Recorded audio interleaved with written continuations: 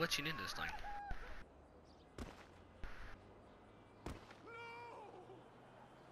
I'm literally glitching in your car.